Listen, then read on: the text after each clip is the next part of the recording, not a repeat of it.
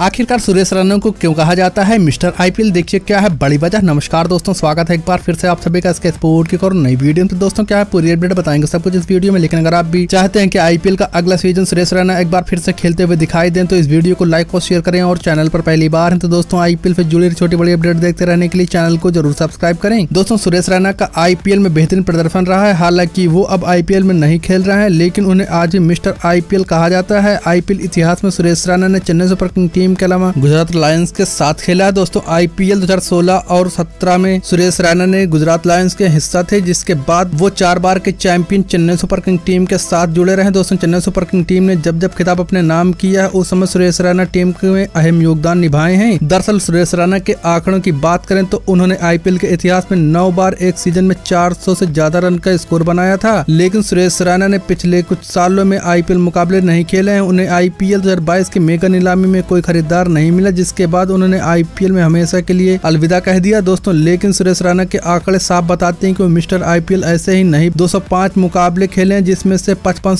Run बनाए हैं। दोस्तों, अगर बात करें क्यों कहते हैं सुरेश रैना को मिस्टर आईपीएल तो दोस्तों रैना ने तेरह दशमलव उन्यासी स्ट्रेक राइट से रन बनाए हैं। दोस्तों, जबकि इस खिलाड़ी का एवरेज बत्तीस दशमलव बावन का रहा। इसके अलावा सुरेश रैना ने आईपीएल में उनतालीस बार पचास रनों का आंकड़ा पार किया है, जबकि उनके नाम एक शतक भी दर्ज है। वहीं दोस्तों, मिस्टर आईपीएल ने अब तक कुल पाँच सौ छह चौके लगाए हैं, जबकि मिस्टर आईपीएल ने 203 छक्के भी जड़े हैं। दोस्तों, चेन्नई सुपर किंग टीम ने आईपीएल में 2010 के अलावा 2011 और 18 तथा 21 का खिताब अपने नाम के दोस्तों, चेन्नई सुपर किंग टीम की इस कामयाबी में सुरेश सराना ने अहम योगदान दिया था। तो दोस्तों, आज की जानकारी में बस इतना ही। इस खबर के बारे में आप अपनी व्यक्तिगत राय नीचे कॉमेंट सेक्शन में लिखे। मिलते हैं नेक्स्ट अपडेट के साथ। तब तक के लिए नमस्कार।